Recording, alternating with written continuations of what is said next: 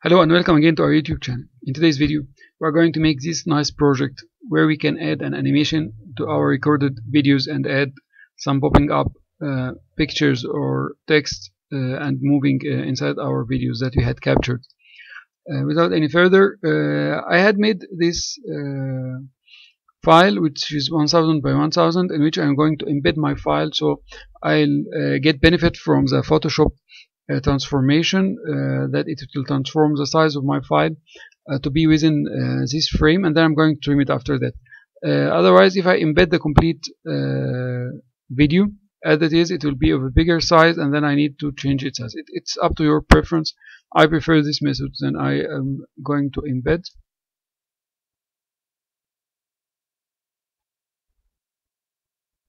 Okay. That's my video enter. Okay then I will delete the background layer. After deleting the background layer I'm going to image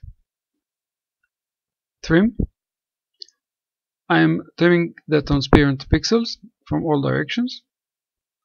Okay now I'm having my size is okay. After that I'm going to uh, duplicate this layer. Okay then I'm going to add uh, some text. You can click on text from here or you can just simply press T. Okay. You can add your text anywhere and then you, we can are going to adjust it. Before adding our text we are going uh, to, to see how uh, to uh, make masking for parts of our image. So we can the text will be appearing between the two videos while they are playing and they are coincident exactly with each other. I'm going to uh, make invisible the lower layer which I'm going not to touch it. I make I'm sure that I'm on the correct layer which is the top one. You have many options uh, for masking part of these uh, layers. Either we go to add a mask from here and while I'm on the mask I make sure that I'm having the black color from here as the top and I select uh, my brush. And then I start deleting some parts from my image. If I don't like to delete it completely I will be I'll change the opacity. Okay and you can see here it's not changing the, the opacity completely. Uh, if I return the back layer you can see that the video appears as nothing changed because the two layers of the videos are coincident with each other.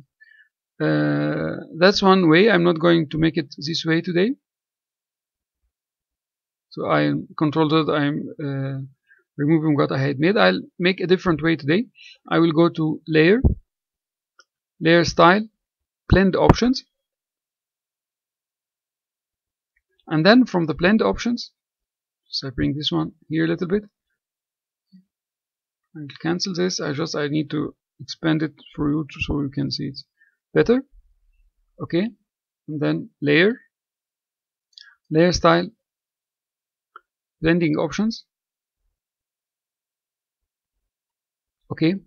When you are in the blending options you go to the bottom make sure that blend if gray.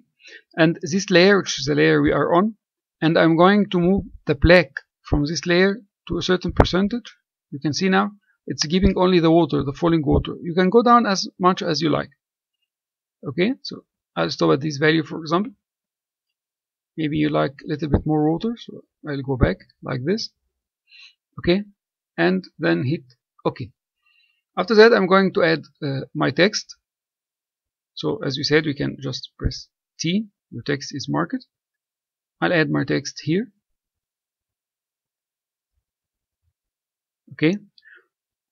Simple.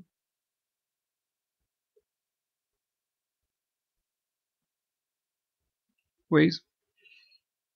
Control enter uh, you can select the color and the uh, effects. We had previous videos on this. I'll be linking it. You'll find it in the information above and I'll be linking it in the description below and you'll find it linked in our blog post for the detailed description of this video. So I added now uh, my my text. Uh, you can change the color. You can give it this orange color for example. Okay you can add some effects to it and so on. And this font I had downloaded from uh, Photoshop CC it's free one. Now I having my I will bring my text between the two layers. Okay now you can see it's not appearing here. Okay because it is behind uh, this layer. Okay if you dim if you make it invisible this layer you can find that this one is only here. I make V and I'll bring it completely to the bottom here as its initial position. After that I'll uh, go to Windows timeline okay. I'll decrease the view a little bit so I can see the complete view. Okay. And I will turn again my images. And then I will create a video timeline. Uh, the key player in the video timeline is uh, uh, text. You can see that text by default is added to 5 seconds while uh, the other text uh, the other videos are added uh, as complete size. So I will be trimming them back. So all of them is as long as only the text which is the 5 second it's enough. If you are making GIF if you like to make a complete length file it depends on your preference because maybe you can playing it as a movie not confirming uh, converting it as uh, a GIF at the end. Okay so as I told you again my key player is uh, text. I'm going to expand it from here. Okay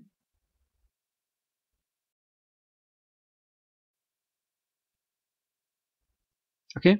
As we said that uh, key player will be our text layer. So in the text layer while it is in this position I'll mark here on transform. So to mark this as an initial position then I need I move the uh, pointer for the frames till the end.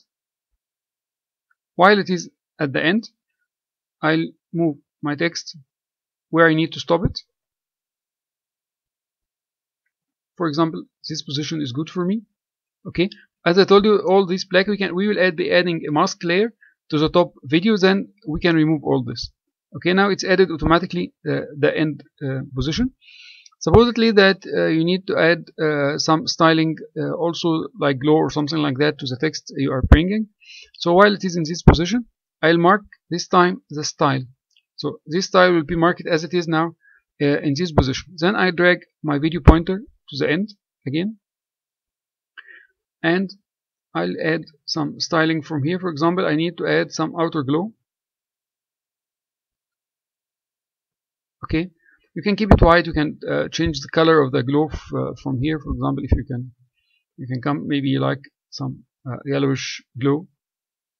Okay. And uh, you can expand it. Uh, you can retract it. Uh, you can change its opacity. You can see here if you if it's you make this opacity too much dark it's like this. You can make it less opacity. It's all these are some tools for you. Then I'll make. Okay? And as I told you in the final position you have some uh, here the, the text is not completely appearing because this layer on the top of it uh, still some of the shadows are coming so I'm going to click on it. Then from here you can see this icon. I'll be I'll add a mask. As we explained in previous videos to add a mask the mask is in white color so it reveals completely what is behind it to uh, make it hide some uh, of the area you need to paint it in black. So I make sure that the, my front color is black. Then I will select the paint brush and I'll use it over the area. In my text here I'm having the opacity 30% if you need to make it quickly and you remove it completely so make the opacity to 100% so like this. Now you can see that your text is appearing completely and it's at its final position okay now if I return back to my timeline and play the first play you will find it moving uh, slowly because it is rendering the, the frames. After that, the next run you will find it moving uh, quickly. Now you can see that your text is obeying This is not the actual time because the complete time of the uh, GIF is 5 seconds or the video you are making is 5 seconds, but it is rendering now. Of course, you can add some shadows. You can add, you can change the color of the uh, of your video uh, of your text as you like.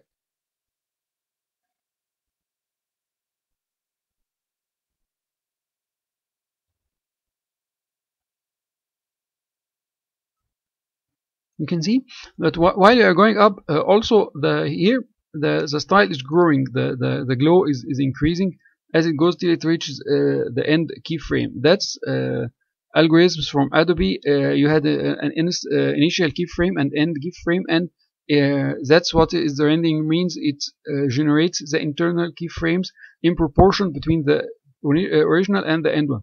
But now we can see that our video is ending uh, directly uh, and playing again. So maybe I need to freeze the last uh, frame for some time. So to freeze the last frame for some time I'm going to my text layer for example that's the one I need to freeze it. I need to freeze it for example for two seconds. I'll extend it to till seven. You can see here. Roughly. Okay. And then I will go till the end. And I will add another keyframe here for the uh, position and another keyframe for the style. So it will keep its styles and uh, end with in, in this end bar but why it is transparent now the background because the other video timelines are ending at 5 seconds. So I extend them. So they are all this is my top one. You can see this this is the area that we cleared at the end. And I'll extend this one. Okay now that we play our video it will be rendering again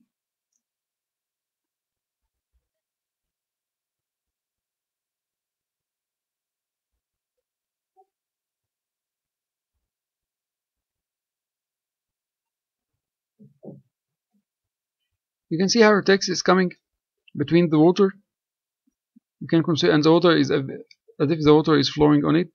You can see that this uh, is a professional artistic looking.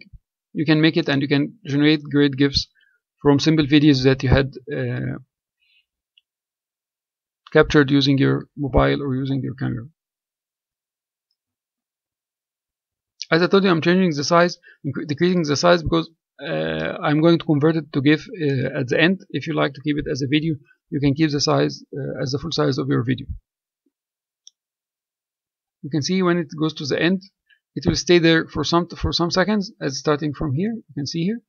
Starting from here it is stopped at this position. It will hold at this position for some time with the full glowing around it and it's totally clear now after we cleared this part of the video. Still it is rendering so that's why it is uh, slow you can see the next time running it will be faster it will be the 7 seconds only. Okay, that's almost now the real speed uh, and performance of your GIF. If you are satisfied uh, with what you have done you stop and then you go to file export save for web now this is uh, CPU extensive usage so it will be uh, taking some time. Okay so I'm going to uh, to see the process but in, in a shortened uh, time I'll make the video fast so I'll not be talking during this time. Just simple information you can see here that this is 1000 uh, that's the original size by 560 and the percentage is 100 I'm going to change this percentage to uh, 50 because like this the video size is coming around 50 mega. If I change it to 50 percent uh, it will be 500 by uh, 200 pixels and the size will go to, to down to 12 mega. Uh, okay so we run fast from here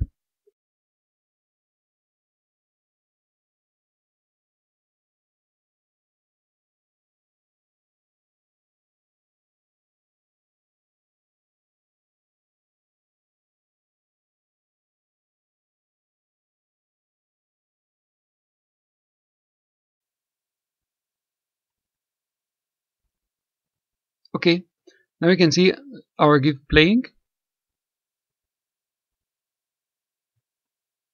I hope uh, you had learned a nice trick today. It's going to inspire you in your future project. You will find uh, the final output uh, downloadable on our uh, blog post. The, the link, uh, you will find it uh, on the top here. And you will find the description, the link in the our description. Join our YouTube channel join our blog post to, receive our detailed uh, step-by-step -step tutorials. Uh, activate the bell and let me see you in the coming videos. Thank you very much